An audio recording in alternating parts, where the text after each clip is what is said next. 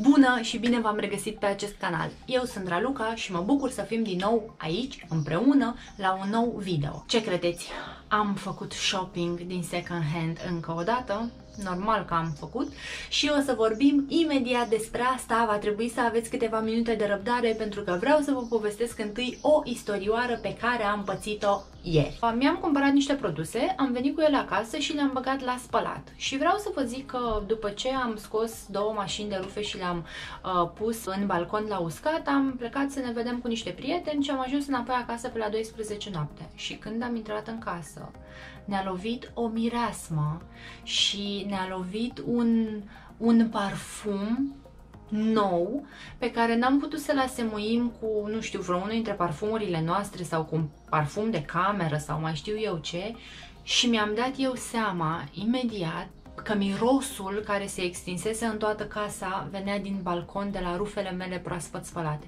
Și trebuie să vă zic despre niște produse Lenor care au ajuns recent la mine și pe care le-am folosit și ăsta este și motivul pentru care toată casa mirosea a, atât de frumos și atât de, nu știu, altfel. Am spălat o mașină de rufe colorate și cu acea mașină de rufe colorate am folosit în primul rând All-in-One Pods de la Lenor destinat rufelor colorate. Dacă nu știați, Lenor face și detergent și l-am primit pentru testare pe acesta Color Detergent All-in-One Pods care arată Stați să văd dacă pot să-l deschid pentru că mă chinui cu această cutie. Ei au foarte mare grijă ca aceste cutii să nu ajungă la îndemâna copiilor și dacă ajung ei să nu poată să ajungă la conținut astfel încât să îl ingereze sau mai știu eu ce. Și eu, care sunt un copil mai mare, mă chinui foarte mult să deschid această cutie ca să vă arăt și vouă conținutul. Așa arată cu siguranță știți că mai fac și alții capsule din astea. Uh, știți cum arată una. Ce trebuie să știți despre asta este că miroase cu totul diferit față de cum miroase un detergent în mod normal. Pentru că de principiu ele se asemuiesc destul de tare, însă asta mi se pare că are un miros foarte curat și cu toate astea e ușor dulceac, dacă nu vă plac mirosurile dulci, da, e posibil să aveți o problemă cu asta. Și foarte suav și delicat, și încă o dată, cu toate astea, mirosea toată casa. Am folosit, așa cum vă ziceam, detergentul acesta All-in-One Pods pentru rufe colorate împreună cu acest balsam pe care eu îl cunosc pentru că nu este nou, l-am folosit deja de foarte multe ori. Preferatul meu în ceea ce privește lenori este cel albastru, clasic, însă evident că am testat și varianta asta și tot din gama Parfumel am văzut că a mai apărut unul uh, Esmerald sau ceva de genul ăsta se cheamă. Este un verde smarald. Uh, recipientul este de un verde smarald și are două componente principale, două mirosuri principale. Trebuie să-l testez și pe ăla pentru că nu l-am folosit până acum și nu se poate să nu știu eu despre ce este vorba. Iar celelalte hăinuțe, hăinuțele albe, pentru că spălasem cele două mașini așa cum v-am zis, le-am folosit cu ăsta. Când l-am primit pe ăsta am crezut că este cel clasic. Însă am văzut acum că e o variantă nouă și se cheamă Spring Awakening. Uh, ca detergent, evident că am și varianta Lenor pentru rufe albe și evident că îmi place și asta foarte tare. Este tot din aceeași gamă, Spring Awakening, uh, adică prospețime de primăvară și am să mă chinui să o deschid și pe asta. Arată exact la fel, numai că mirosul este cu totul altul și da, ăsta miroase exact, dar exact a flori de primăvară. Mi se pare genial. Da, eu le folosesc în combinația asta, uh, detergentul pentru rufe albe împreună cu acest balsam și detergentul pentru rufe colorate împreună cu acest balsam și abia aștept să-l testez și pe cel verde. Acum că am terminat cu povestea mea despre balsam și despre miros și despre cum uh, mirosea azi noapte toată casa extrem de frumos și de suav și de altfel, hai să trecem la lucrurile pe care mi le-am cumpărat pentru că sunt niște lucrușoare foarte drăguțe de care eu sunt foarte mândră și pe care abia aștept să am ocazia să le port. Când o să ies din casă? Într-o zi, două, trei, nouă, o sută, până la toamnă? Cine știe. Mi-am luat această bluză care la bază cred că ar veni cumva rochiță, dar probabil că ar veni rochiță pe o persoană care ar avea 1,50 maxim. Eu cum nu am atât și nu o să am niciodată în această viață, vreau să o folosesc exact ca bluză și să o port cu o bustieră. Este Zara, este măsura M, are un material ușor, ușor, dar foarte ușor transparent, nu știu dacă îmi vedeți sau mi se vede mâna, ea se vede săraca, nu, probabil că nu se vede pe cameră, dar e, materialul e foarte bun și în zilele astea caniculare de vară cred că mi va fi foarte bine cu bluza asta pe mine. Pe bluza aceasta am dat 22 de lei, am păstrat eticheta ca să vedeți și voi.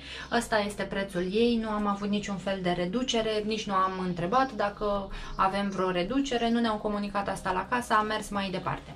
Uh, Mi-am mai cumpărat acești pantaloni care sper să îmi vină și să fie drăguți și să pot să-i port vara aceasta pentru că îmi plac foarte mult și mi se par foarte simpatici și uh, drăguți de vară. Pe pantaloni am dat 19 10 lei și mi se pare că materialul este foarte bun și, nu știu, e material din acela de blug cum se făceau blugii odată. În niciun caz cum se fac acum din materiale care la a treia purtare sunt total decolorate și nu mai sunt bune de nimic. Al treilea produs pe care l-am luat de la Humana și recunosc că l-am gândit ca produs de plajă, dar dacă am să găsesc o soluție cu ceva de purtat pe dedesubt, pentru că e foarte transparent produsul acesta, uh, am să pot să-l port și pe stradă.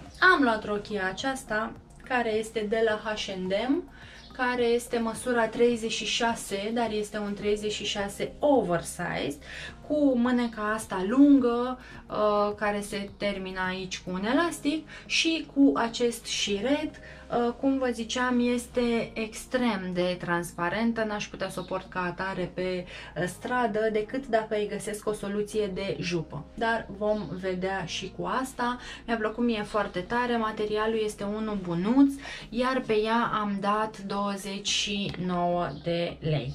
Nu m-am uitat la preț, mi-a mi, plăcut foarte mult, am cumpărat. Și last but not least, tot pentru plajă, sau cine știe ce mi-o mai trece mie prin cap, mi-am cumpărat de la un brand numit Shane, n-am auzit de el, habar n-am cine este, această minunăție, care ar putea foarte ușor să fie confundată cu o perdea, dar care va fi o rochie absolut genială de plajă o rochie care să te acopere sau care să-ți acopere costumul de baie de la hotel până la plajă sau de la cort până la nu știu unde, pentru că nu știu unde o să mergem vara asta și unde o să găsim noi un loc în care să nu fie mulți oameni și în care să fim cu toții distanțați social. Așa arată, este despicată, e, e lungă în primul rând, este absolut lungă până în pământ, este despicată în părți până sus, deci de asta zic că o văd potrivită pentru plajă, așa în niște poze din alea super instagramabile, uh, dar mi-a plăcut că este extrem de fină, deci materialul ăsta este extrem, dar extrem de fin și frumos. Și uitați-vă și voi ce dantelă sau ce-o fi asta sau ce material de perdea avem noi aici. Uh, e foarte decoltată în partea de sus și are mânecuța asta care cade ușor, e foarte largă, pică ușor. Doamne, și cu miroase de la balsam. Mm, este absolut genială. Abia aștept să pot să o port și să o integrez în niște ținute și cine știe, poate că îi fac o rochie simplă pe dedesubt și o port chiar și pe stradă. O să vedem. Mi se pare cam mult pentru a fi purtată pe stradă, chiar și cu o rochie pe dedesubt, care se acoperă absolut tot, evident, dar mi se pare că e cam multă dantelă aici și produsul este foarte potrivit pentru plajă și atât. Acolo unde oricum ești mult mai descolit decât ai umbla pe stradă și, în fine. Asta am vrut să vă comunic astăzi. Sper că vă plac și produsele acestea. De data asta sunt puține, evident. Nu mai sunt uh, multe ca în primul video, dar vi linkuiesc și pe acela în descriere astfel încât să îl vedeți dacă nu l-ați văzut deja sau să îl revedeți pentru inspirație atunci când vă hotărâți să faceți și voi acest pas și să mergeți la scotocit în second hand. Nu v-am zis cât am dat pe asta, am dat 22 de lei pe ea și da, este mai ieftină decât uh, cealaltă, scurtă, nu știu din ce motiv, însă m-am bucurat și am zis, Doamne, ce bine că este atât și am cumpărat-o fără să stau pe gânduri. Am reușit să fac un video foarte scurt și vă mulțumesc că sunteți aici și vă uitați la el. Dacă nu mi-ați dat deja subscribe pe acest canal, v-aș fi recunoscătoare dacă ați face-o și până data viitoare, când o să ne vedem cu cine știe ce năstrușnicie îmi mai trece prin cap, vă doresc să aveți zile minunate!